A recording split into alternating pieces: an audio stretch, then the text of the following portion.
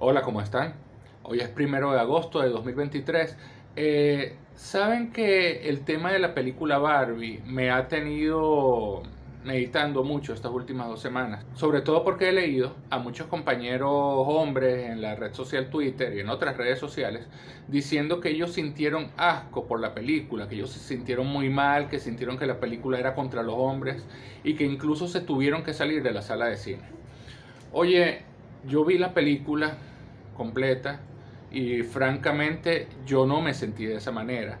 Yo no puedo entender cómo es que a veces algunas personas o algunos hombres somos tan criticones, somos tan críticos de muchas cosas que pasan en el día a día, pero cuando nos critican a nosotros, oye, nos ponemos tan susceptibles. Muchas de las cosas que se dicen en la película Barbie en realidad son bastante suaves en comparación con lo que ocurre en el mundo real con las mujeres. En la película Barbie, eh, bueno, no voy a, voy a tratar de no spoilear, de no, arruinar, de no ser spoiler, de no arruinarle la película a nadie. Sin embargo, en la película Barbie, la trama general es que Barbie, por diversas razones, tiene que ir del mundo de las Barbie al mundo real en Los Ángeles. Y cuando ella llega al mundo real, ella comienza a sentir el cambio tan fuerte que había desde el mundo de las Barbies, donde ella prácticamente era el centro de todo, donde las Barbies eran las que dominaban el mundo, eran las que tomaban las decisiones, había incluso hasta una presidenta Barbie. Pero cuando ella llega al mundo real, se consigue que el mundo es dominado principalmente por los hombres y que incluso ella siente que comienzan a ocurrir cosas contra ella, que por ejemplo que algunos hombres empiezan a lanzarle piropos sucios, que un hombre le agarra las nalgas, que se acerca a un grupo de hombres que están en una construcción y los tipos empiezan a decirle cosas grotescas, eh, que llega por ejemplo a la sede de la empresa Mattel y encuentra que todos los que dominan esa empresa son hombres y las que las mujeres en realidad son sirvientas o son personas con cargos de poca importancia. Entonces, eso parece que le molestó a muchísimas personas. Pero en realidad es algo que no es nada alejado de la realidad. Y yo no entiendo por qué tiene que molestarnos eso. Eso forma parte, pienso yo, como persona de izquierda y como persona chavista, que forma parte de esas cosas que tenemos que intentar cambiar en el mundo. No sé si a lo mejor es porque yo eh, llevo 13 años trabajando en una emisora de radio, que es una emisora de radio de izquierda, que en sus mejores tiempos fue una emisora de radio muy feminista, eh, que yo tuve el honor, que para mí es el honor de haber trabajado con personas que en su momento y siguen siendo los líderes feministas, como Osli Hernández, eh, Michinó, eh, Laura Cano, que, eh, oye, son personas de varias generaciones, de dos generaciones distintas con quienes yo he trabajado y que he tenido el honor de escucharlos y de escuchar las discusiones que ellas muchas veces tenían sobre los, porque tenían programas de radio allí en la emisora Alba Ciudad. Y bueno, tuve la oportunidad de escuchar de parte de mujeres muchos de los problemas que ellas tienen que enfrentar en el mundo de hoy. Al igual que tengo el honor de escucharlo cotidianamente, tanto de mi esposa como de las compañeras de mi esposa, y como tuve la oportunidad de escucharlo en su momento de las compañeras que tuve en la universidad y de muchas personas que me han contado los problemas graves a los que se viven sumidas las mujeres en el mundo de hoy. Y yo creo que eso es algo importante de la película Barbie. Obviamente, sin dejar de meter que es una película comercial, de entretenimiento, hecha por Hollywood, hecha por la empresa Mattel, etcétera, etcétera. O sea, uno no puede ser inocente y uno no puede decir, ah, no, esta es la película que va a cambiar el mundo porque ahora Hollywood es la que va a guiar. No, no, uno está claro que es una película de entretenimiento, que es básicamente un comercial de Mattel de hora y media, de dos horas de duración. Uno está claro en eso.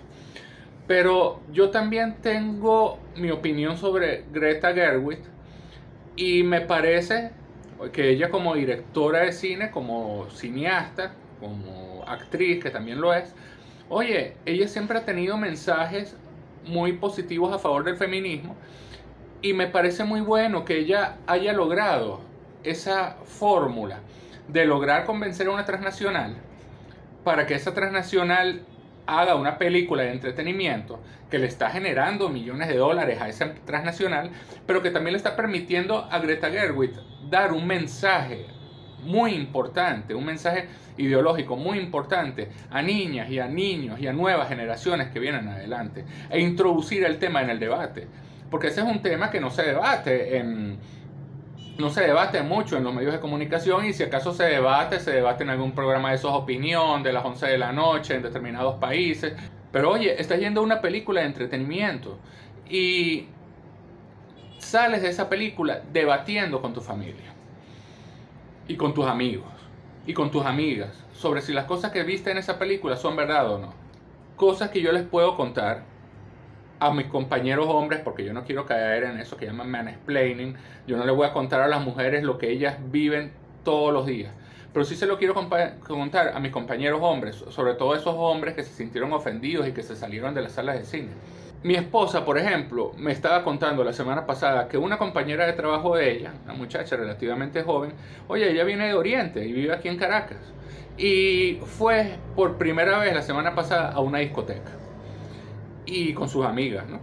Y una de las cosas que le contó a mi esposa y a sus demás compañeras de trabajo es que las discotecas aquí en Caracas son más chéveres que allá en Oriente. Porque allá en Oriente, cuando van a las discotecas y si van con un chorcito, si van a una minifalda, es normal que les metan mano. Mientras que aquí en Caracas son un poquito más respetuosos y por lo menos en esta salida que ella tuvo no le metieron mano. Oye, de verdad hemos llegado al punto de normalizar esas cosas. Por darles otro ejemplo, este, yo tengo varias personas que son, digamos, amigas mías, que vienen de oriente del país. Tuve una exnovia, tuve, bueno, compañeras de trabajo, personas que son de oriente del país, y que varias de esas personas, por separado, sin conocerse entre ellas, han agarrado y me han dicho, mira, Luigino, el día que tú vayas con tu pareja, con tu novia, a oriente del país, y vayan caminando por una acera, tú tienes que hacer que ella camine por la parte de adentro de la acera y tú tienes que ir por la parte de afuera. ¿Por qué? Porque si lo haces al revés, si, tú la dejas caminar a ella por la parte de afuera de la acera, tú la estás ofreciendo. Es como si tú fueras el chulo o el proxeneta y la estuvieras ofreciendo a ella porque ella es tu prostituta. ¿Entiendes? Entonces tú no puedes permitir que ella camine en la parte de afuera de la acera porque le van a tocar la corneta, le van a querer agarrar las nalgas, le van a decir cosas. Entonces, oye, yo me quedo pensando, ¿de verdad esas cosas son normales en el oriente del país o fueron normales en el pasado? Esas cosas no las podemos normalizar. Otra amiga de mi esposa, que ella es de Puerto Ayacucho, oye, nos cuenta una vez que ella agarró un taxi para ir de un lado a otro del pueblo por una carretera que es medio aislada.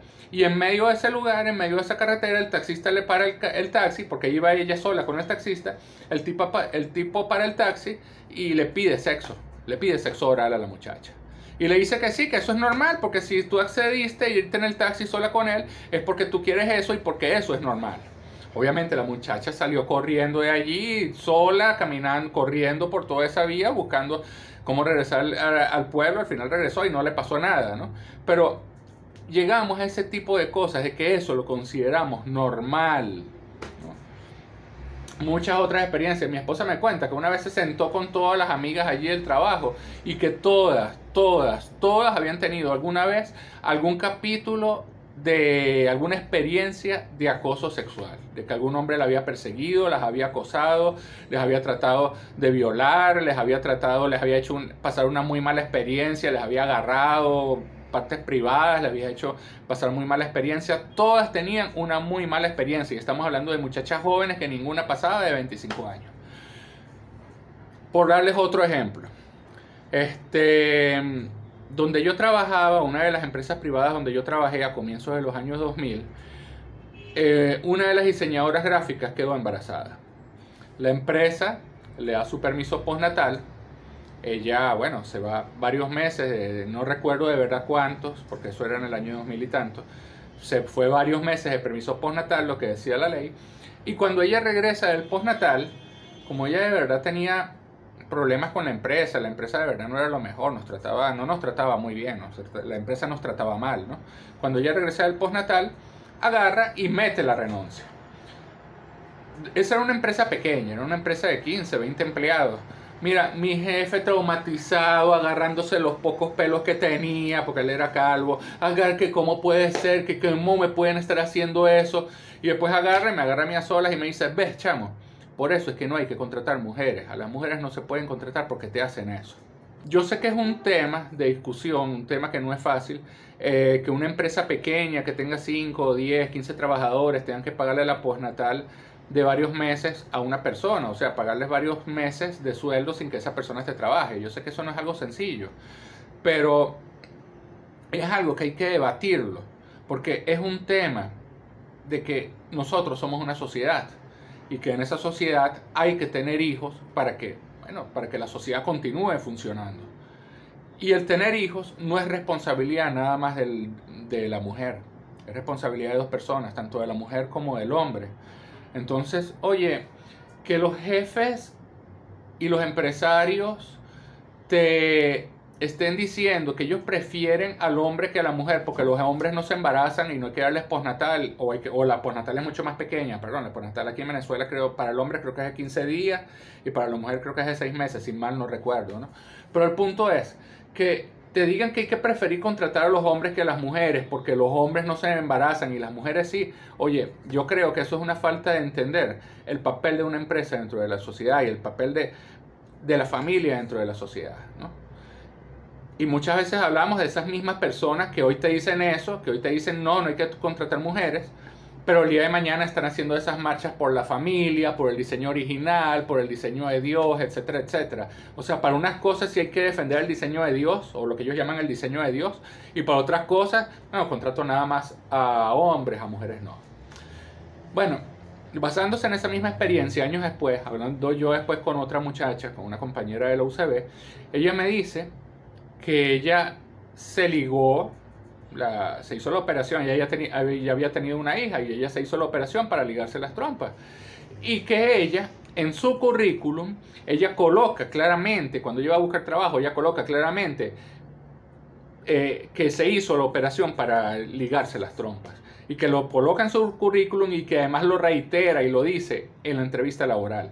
Y yo le pregunto, ¿y por qué haces eso? Oye, porque la empresa siempre quiere contratar a los hombres, las empresas prefieren a los hombres por el tema de, que los hombres no se embarazan y las mujeres sí. Y entonces yo hago eso para poder competir con los hombres, para poder tener chance, para tener trabajo.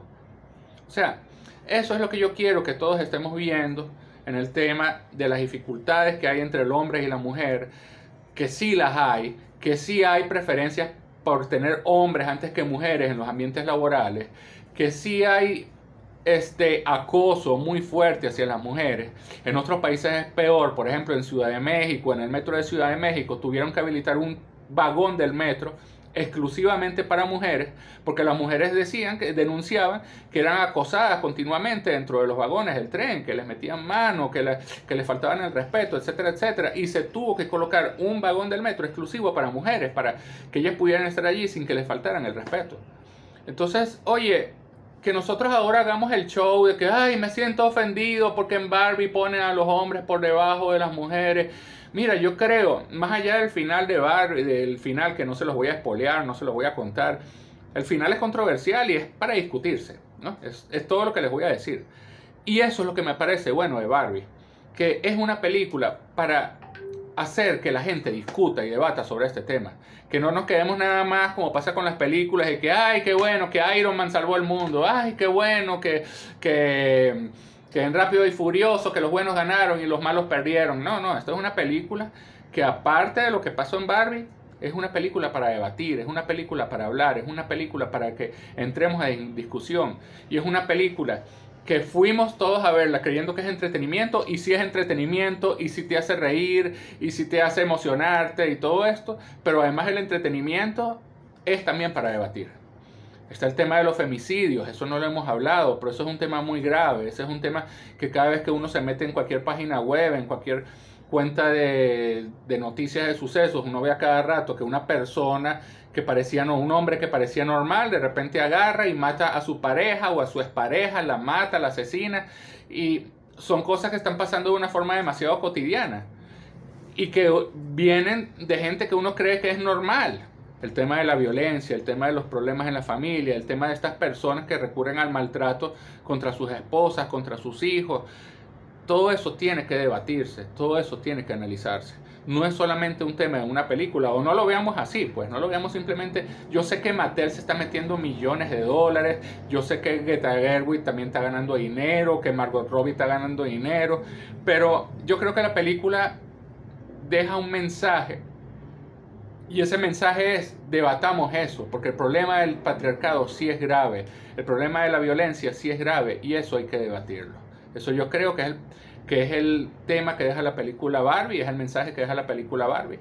Y yo creo que los hombres no deberíamos sentirnos ofendidos, sino que deberíamos reflexionar y deberíamos ver qué estamos haciendo bien y qué estamos haciendo mal en nuestras vidas, eh, en nuestras relaciones con otras personas, en particular con mujeres.